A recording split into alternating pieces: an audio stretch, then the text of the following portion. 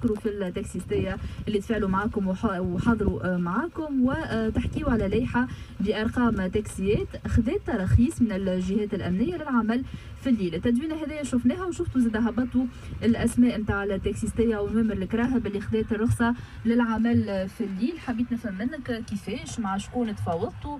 آه، آه، الباب مفتوح للجميع آه، تاكسيات من دون تاكسيات. donc خلينا نفهموا منك شنو ما نعطيوش تراخيص والشخص اللي قال في تراخيص راه هو السيد هذا عرف شيء وغاب عنه اشياء هو أنا أنا سي حسام لو تسمح أنا انطلقت من التدوينه اللي أنتم هبطوها على الصفحه نتاعكم قلتوا فما تراخيص من الجهات الأمنية. أراجع بالنظر. هذايا هو الكلام اللي أنا قلته.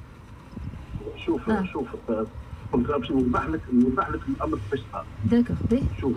باهي اعطيني الوقت برك إي اما بايجاز نعم؟ بايجاز إن شاء الله بايجاز إن شاء الله. شوف القرارات تصدر من الدولة.